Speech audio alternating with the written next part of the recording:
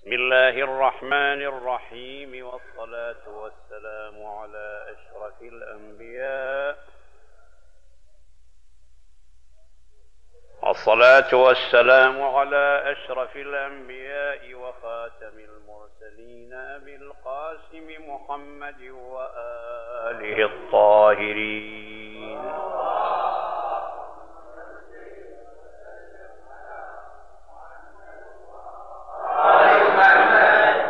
الله وملائكته يصلون على النبي.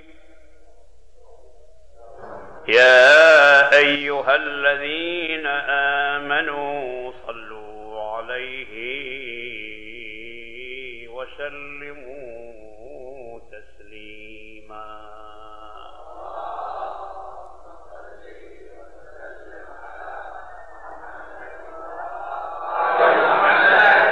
وقدما بنورك لما أضاء رأت ظلمة العدم الانجلاء فمن فضل ضوئك كان الضياء. لقد رمقت بك عين العمى.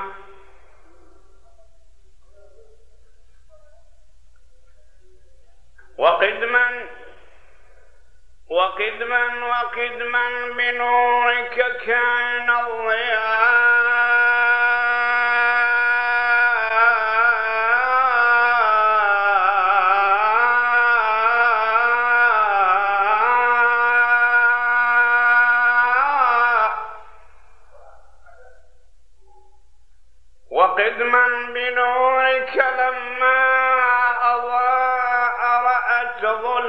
ظلمة العدم الانجلاء فمن فضل ضوئك كان الضياء. لقد رمقت لقد رمقت بك عين العمى وفي غير نورك لم ترمقي.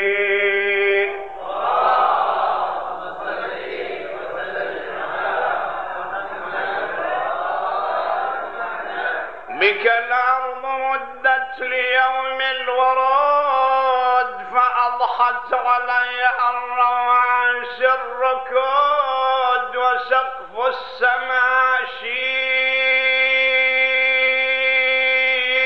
شيد لا في عمود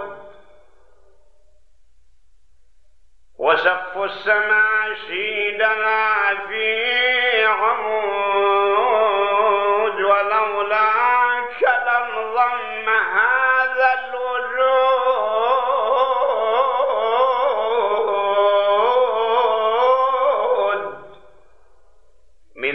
العدم الماء يحظ في مطبقي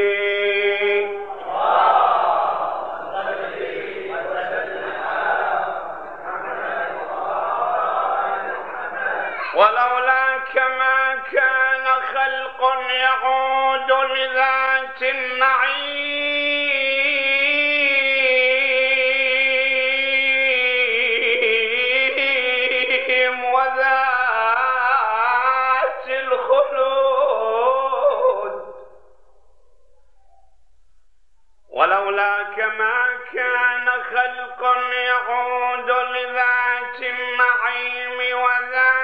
الخلود ولا بهما ذاق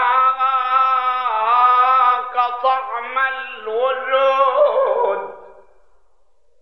ولا شم رائحة للوجود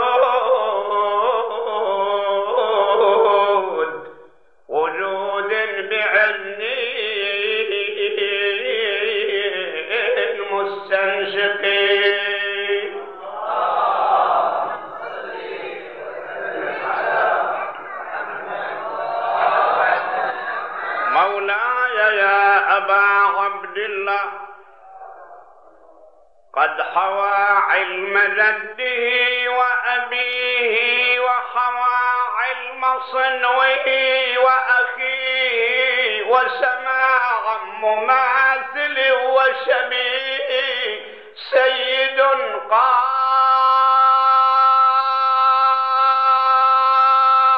قال سيد الرسل في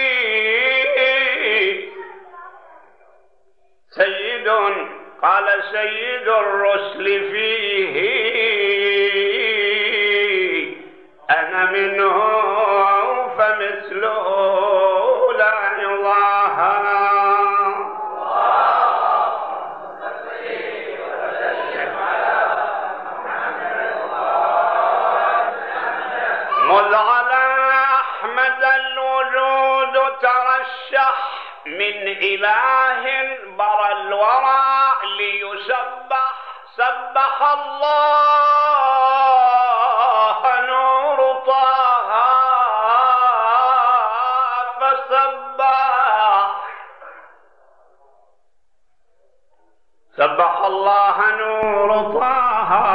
طه فسبح ورضيعا ورضيعا قد اغتذى لبن الوحي بثدي الإيمان من زغر طه.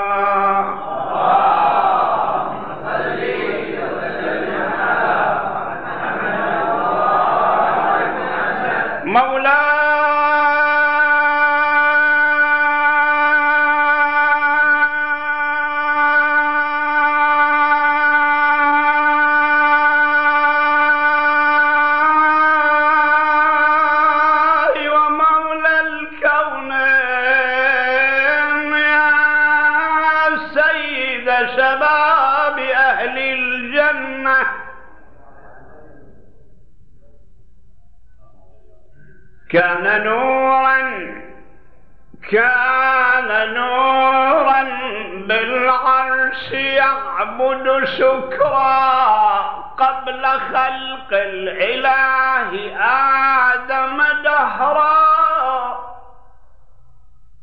ولذا حيث كان أسبق طورا ساد فضلا على طرا جل رب من أجله قد براها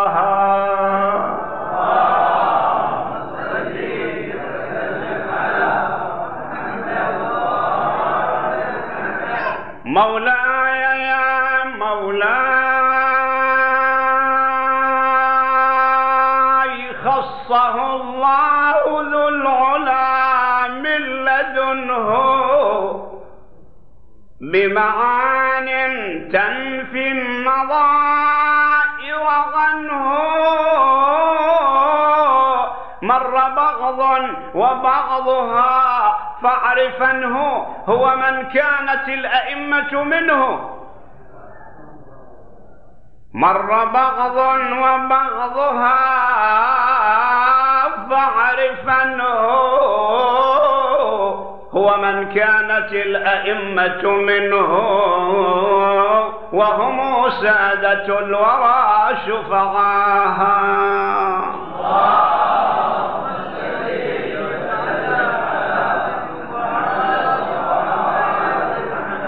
صاح ذره في كربلاء المعلى. صاح ذره في كربلاء المعلى واتخذ قبره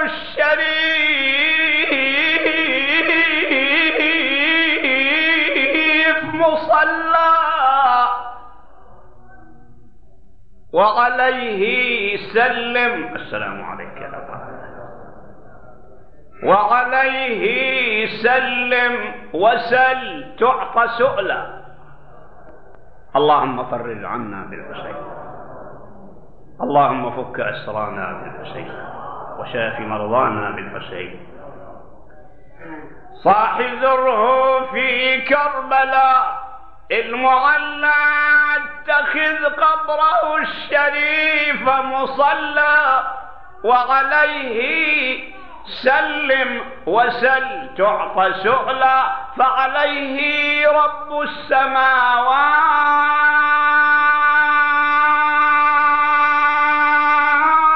صلى. فعليه رب السماوات صلى. صلوات تترى ولا تتناهى.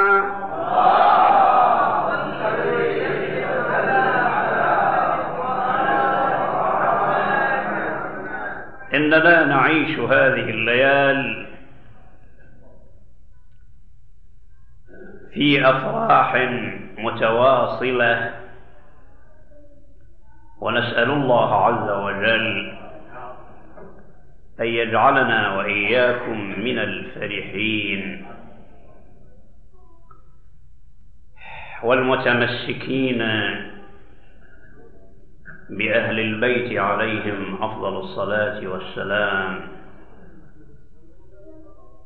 حيث تترى في هذا في هذا الشهر العظيم المبارك هذه الذكريات العطرة هذه الذكريات الميمونة. بالإضافة إلى عظمة وقدسية هذا الشهر وهو شهر شعبان المعظم الذي كان رسول الله صلى الله عليه وآله يدأب في صيامه وقيامه. فأول مناسبة أطلت علينا هي مناسبة مولد سيد شباب أهل الجنة أبي عبد الله الحسين بن علي سلام الله عليه في ثالثه أو خامسه. حسب اختلاف الروايات إلا أنهم يتفقون على أن الإمام الحسين عليه الصلاة والسلام ولد في شعبان ويختلفون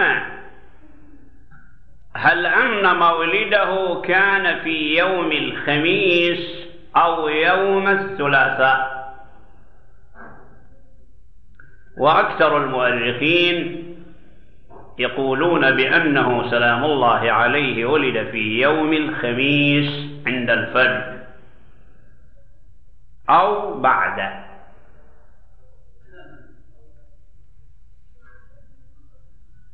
ثم تلت هذه الذكرى العطرة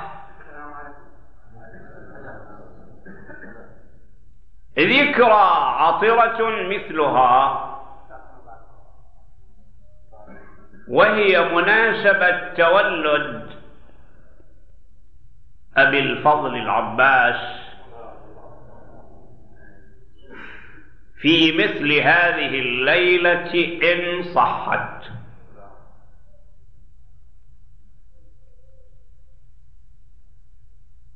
ذلك لأن المؤرخين يروون أنه ولد سلام الله عليه في يوم الجمعة الرابع من شعبان المعظم.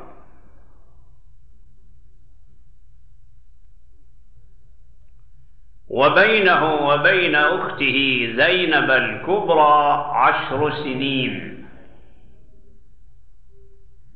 صلوات الله وسلامه عليه. ثم في خامسه تولد الإمام زين العابدين. صلوات الله وسلامه عليه. كما أن القراءة ليلة باشر في مأتم الأحسائية. فمن أحب الاستماع. الساعة تسعة وربع. نسأل الله وإياكم التوفيق. وفي الحقيقة نحن بحاجة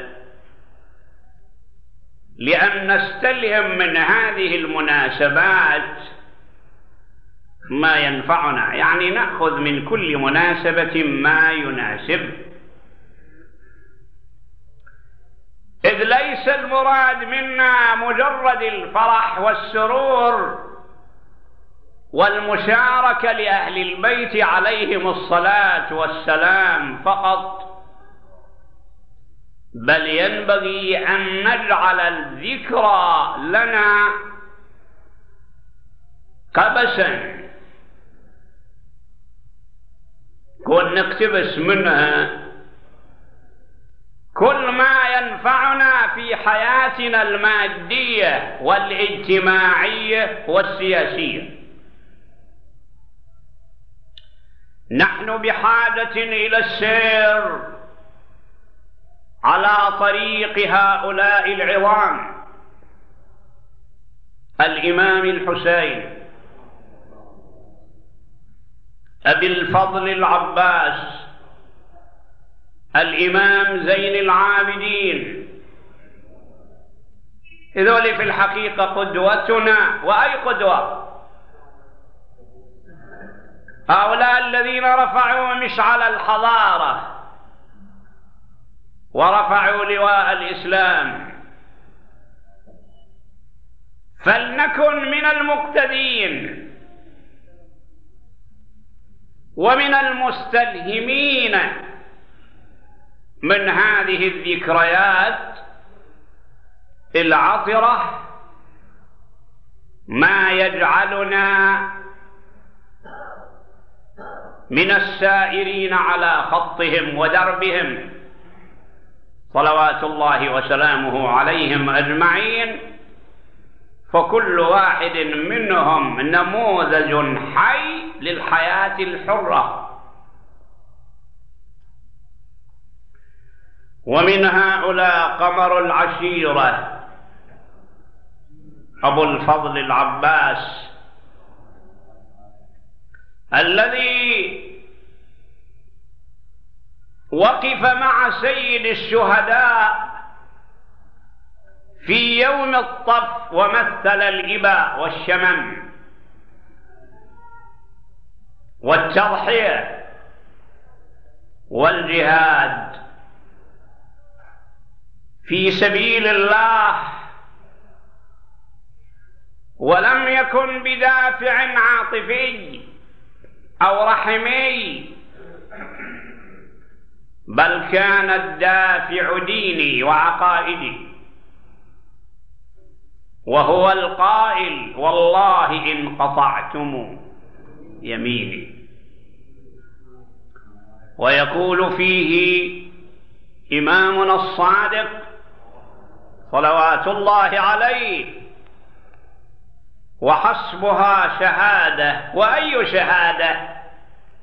انطلقت من حنجرة الإمام جعفر رحم الله عمنا.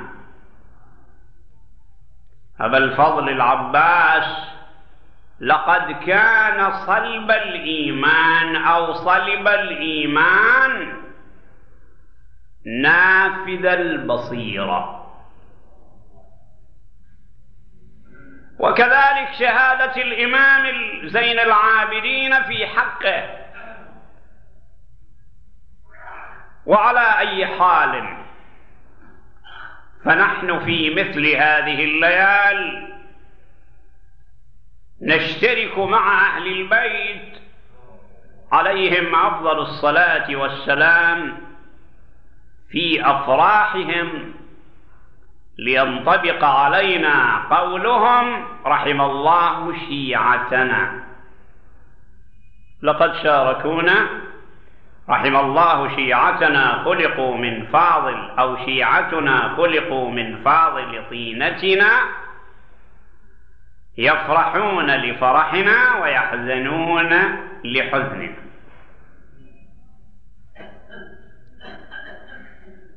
أجل يا أبا عبد الله. لقد أشرقت بك الدنيا وسعدت بك الإنسانية في جميع أجيالها وعصورها. أجل يا أبا عبد الله.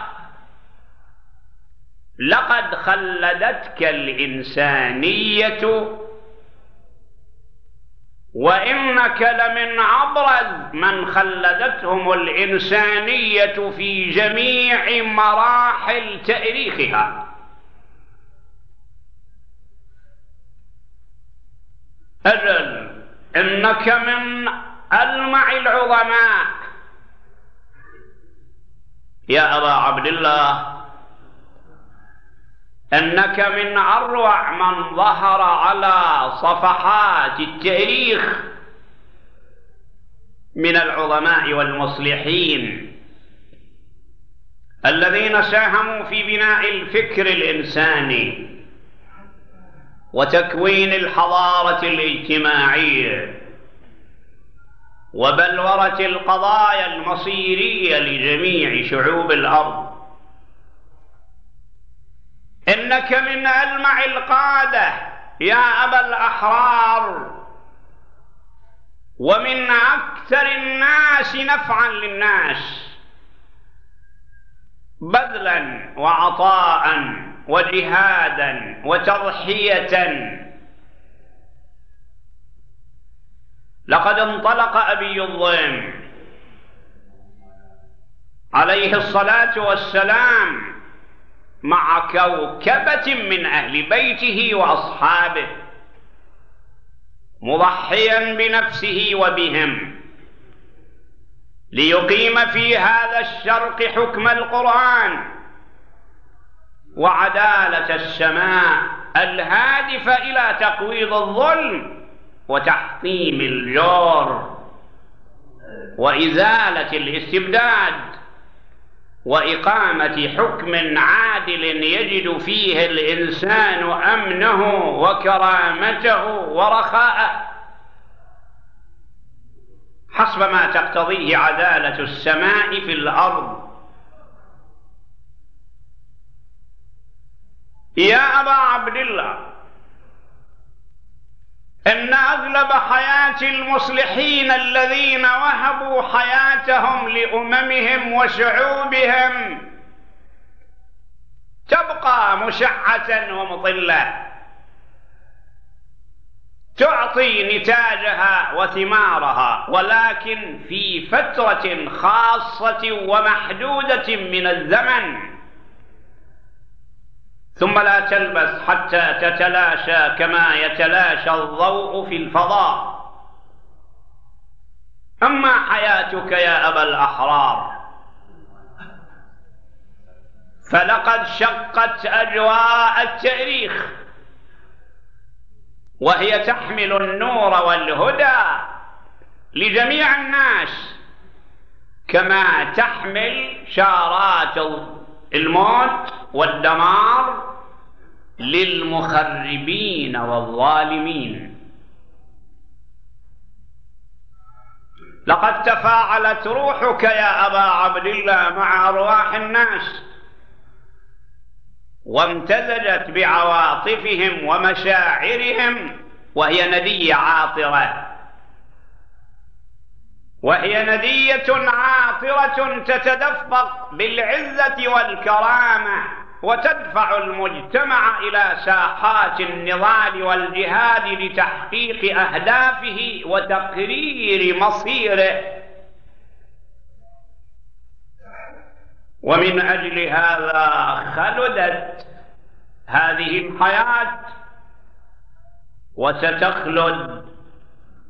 نقيم هذه الذكرى العطرة ويقيمنا ويقيمها غيرنا في أكثر مناطق المناطق الإسلامية. لأن الحسين ليس وقفا على شيعته.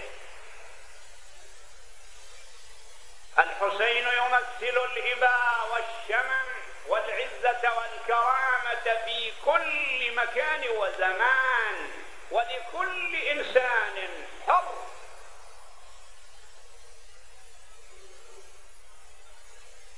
أجل إنه ابن الهادي الرسول محمد.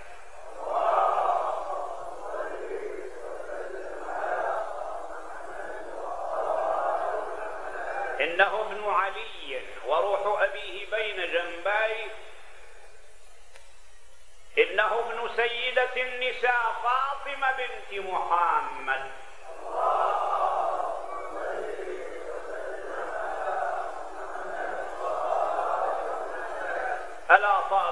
هذا الغرس الذي امتد على هامة الزمن وعيا وإشراقا. وهو يضيء للناس حياتهم الفكرية والاجتماعية والسياسية. إنه الغرس الطيب من فاطمة الزهراء التي تجمع من فرقة وتهدي من ضلال. إنها فاطمة التي تحمل قبسا من روح أبيها العظيم وفيضا من نوره وأشعة من هديه فكانت مورد عنايته واهتمامه وقد أحاطها صلى الله عليه وآله بهالة من الإكبار والتقدير ففرض ولاءها على المسلمين ليكون ذلك جزءا من عقيدتهم ودينهم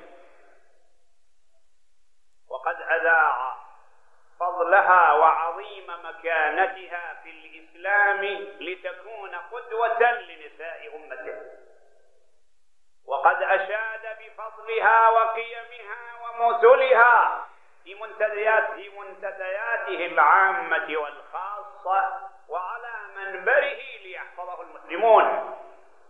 فقال فيما أجمع عليه رواة الإسلام إن الله يغضب لغضبك ويرضى لرضاك.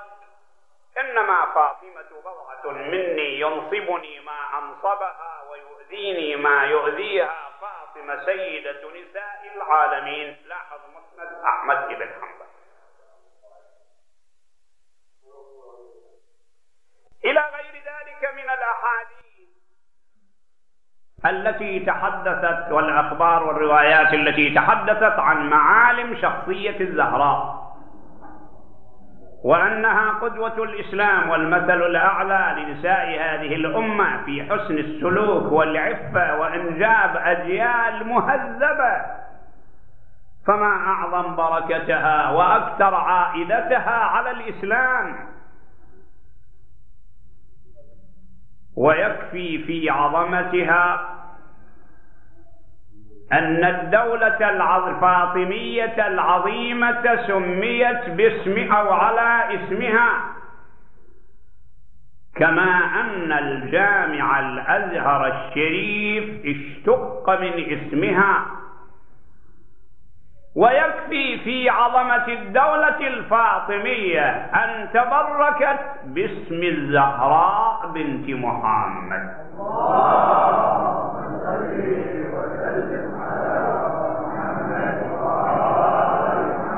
وعلى أي حال فقد استشف الرسول من وراء الغيب بأن بضعته فاطمة عليها السلام ستتفرع منها الذرية الطيبة ولاة الحق في الأرض ودعاته وخلفاء الرسول صلى الله عليه وآله والذين يتحملون أعباء الرسالة بعده ويعانون كل ضيق وجهد في سبيل الإصلاح الاجتماعي. لذلك أولاهم صلى الله عليه وآله عنايته ورعايته. أجل إنه ثمرة علي. رائد الحق والعدالة الاجتماعية الكبرى في الأرض. ومن كان من الرسول بمنزلة هارون من موسى وأول من آمن بالله وصدق برسوله والقائد الأعلى في مركز القيادة الإسلامية العليا. تحمل أعباء الجهاد المقدس منذ فجر الدعوة الإسلامية فخاض الأهوال والتحم التحاما رهيبا مع قوى الشرك والزندقة والإلحاد حتى قام هذا الدين وهو عبل الذراع مفتول الساعد بجهده وجهوده. إنه أبو الأئمة الميامين الذين فجروا النور والحكمة في الأرض أولاد محمد.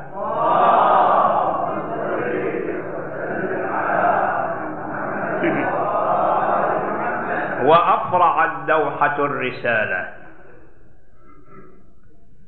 وافرعت دوحه الرسالة وشجرة الإمامة الذرية الطيبة التي تشكل الامتداد الرسالي لمحمد. صلى الله عليه وآله فكان الوليد الأول أبا محمد الزكي. وقد امتلأت نفس النبي صلى الله عليه وآله به سرورا وأنسا فكان يتعاهده ويفيض عليه من مكرمات نفسه التي طبق شذاها العالم الإسلامي بأسره. ولم تمض إلا أيام يسيرة. حددها بعض المؤرخين بإثنين وخمسين يوما حتى علقت سيدة النساء بحمل جديد وهو الحسين بن علي. هذا الذي كان الرسول صلى الله عليه وآله يترقبه والمسلمون بفارغ الصبر.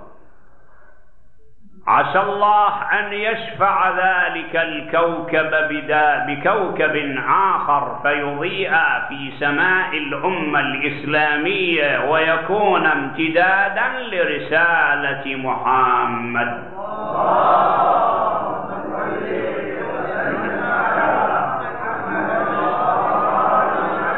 ورأت أم الفضل. ومن هي أم الفضل؟ هي لبابة الكبرى. زوج العباس بن عبد المطلب. وهي أول امرأة أسلمت في مكة بعد خديجة بنت خويلد. وكانت أسيرة عند النبي صلى الله عليه وآله وكان يقيل في بيتها وقد ولدت للعباس ابن عبد المطلب الفضل وعبد الله وعبيد الله وقسم وعبد الرحمن وأم حبيب. هذول أولاد العباس بن عبد المطلب رأت رؤيا منكرة قريبة لم تهتدي لتفسيرها. هرعت إلى النبي محمد صلى الله عليه وسلم.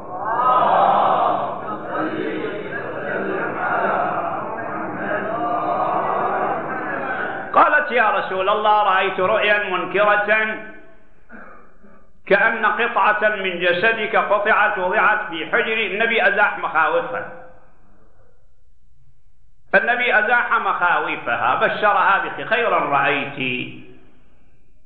ليش؟ متأثرة ليش؟ تلد فاطمة غلاما يكون في حجرك. فكان الأمر كما كان. وضعت سيدة النساء. فاطمة عليها الصلاة والسلام.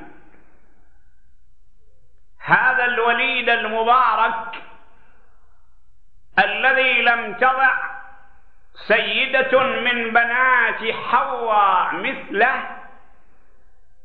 لا في عصر النبوة ولا فيما بعده فلم يكن أنور ولا أطهر ولا أقدس ولا أفضل ولا أنبل من الحسين بن علي صلوا على محمد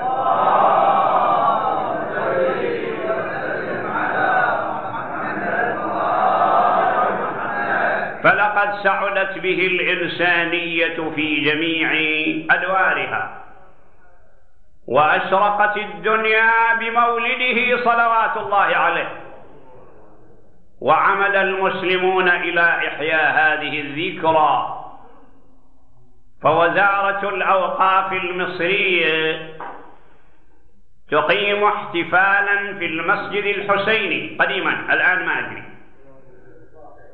تقيم احتفالا بهذه الذكرى في المسجد الحسيني اعتزازا وافتخارا بالحسين. كما تقام هذه الذكرى الاحتفالات بهذه الذكرى في أكثر مناطق العالم الإسلامي. اعتزازا بصاحب هذه الذكرى وافتخارا به وليس العالم السفلي فقط يعتز ويفتخر بالحسين بل العالم العلوي. فدرذائيل وجبرائيل وميكائيل وإسرافيل وفطرس يفتخرون بالحسين.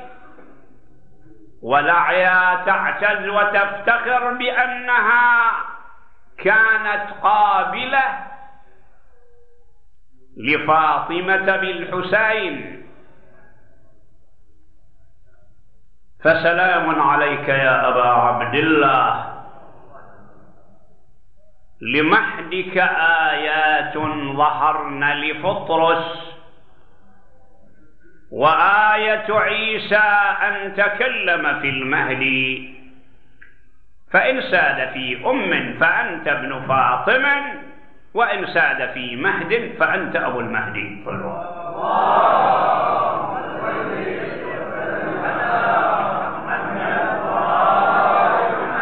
وإحنا تعرضنا أيضا إلى ذكر أبي الفضل العباس عليه أفضل الصلاة والسلام. تبركا وتيمنا ولكن الإمام الحسين بن علي إليه تتطلع النفوس. هذا ما بإشكال إشكال. وذكراه تغطي جميع الذكريات. وما زلنا في شوق وأنس لاستماع كيفية تولد هذا العظيم. فلما وقعت فاطمة في طلقها بالحسين أوحى الله عز وجل إلى لعيا وهي أفضل وأنبى الحورية خلقت في الجنان. وكان أهل الجنان إذا نظروا إلى شيء إذا أرادوا أن ينظروا إلى شيء حسن نظروا إلى لعياء وللعيا قصر سبعون ألف قصر وسبعون ألف مقصورة. وسبعون ألف غرفة مكللة بالمرجان والياقوت. وقصر لعيا أعلى من تلك القصور. وإذا أشرفت على الجنان أضاءت الجنان بنور خديها وضوء جبينها. صلوا على محمد.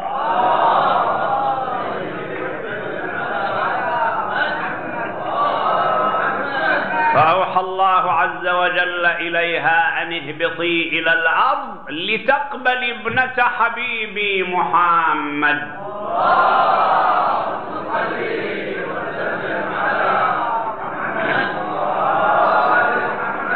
وهبطت لعيا في زجل من النور كما يقولون على فاطمة بنت محمد.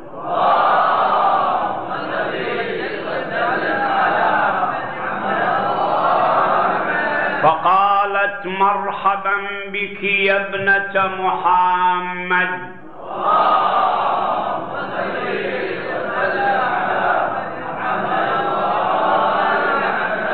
ولحق فاطمة الحياء من لعياء ماذا تفرش لها؟ فهبطت حوراء ومعها درنوك من درانيك الجنة فبسطته في منزل فاطمة بيت الوحي وجلست لعيا تنتظر الأمر وترتقب شروق النور وانبثاقه حتى القرب الفجر ودنا وانشق النور وولد النور.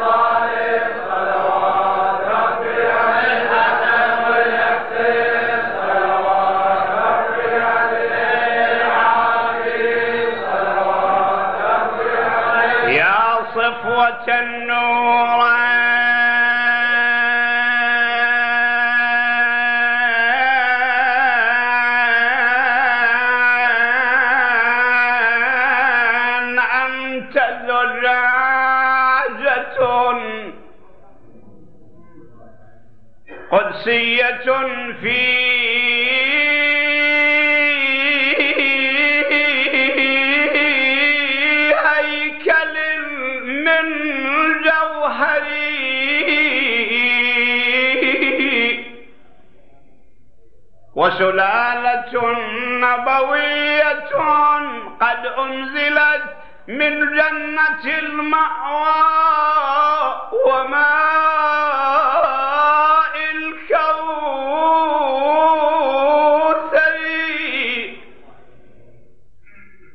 من أهل بيت من أهل بيت أذهب الله الغمام.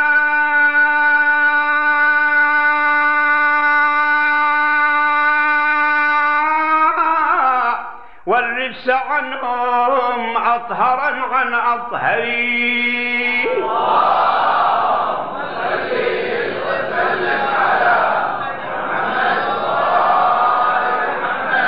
من أهل بيت أذهب الله العمى والرجس عنهم أطهرا عن أطهر المصطفى الهادي مدينة علمه. والباب إذ يؤتى له ملها من حيدر مشكاته الزهراء والباب إذ يؤتى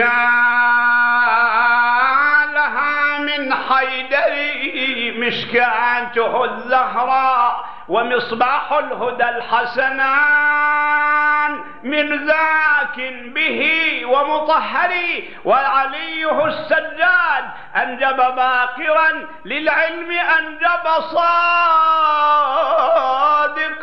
في جعفري. ولكاظم الغيظ الرضا وجواده ينمى له الهادي بأطيب عنصري وختامه مهدي آل محمد. مسك يفوح به نجار العسكري.